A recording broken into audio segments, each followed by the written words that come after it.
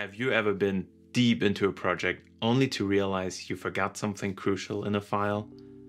We've all been there. So let's learn how to prevent this from happening to us again. While the tabs at the top of your screen are helpful, they can be a little bit overwhelming. Instead of searching for a certain tab, let's use our IDE. One convenient way to find certain files is using the Recent Files window it gives you a nice list of all the files you have visited recently.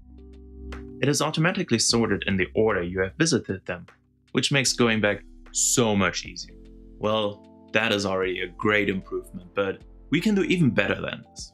What if the file you're looking for is at the very bottom? Well, sure we could press arrow down like a hundred times, or worse, use the mouse. Always just type directly into the window, which lets you search for a particular file. Wouldn't it be nice if you could narrow it to only the files you have edited, not all you visited? In the upper right corner you see Show Edited Only file. This will help you remove some clutter and hide the files you visited without doing any changes. And you can even open a certain file in the split window to have a look at multiple files at the same time by clicking on the icon on the right side or pressing Shift Enter. I even got one more for you. Let's go check it out. If we look to the left side of our recent files window, we see all the amazing tools we recently used. You want to jump to the terminal?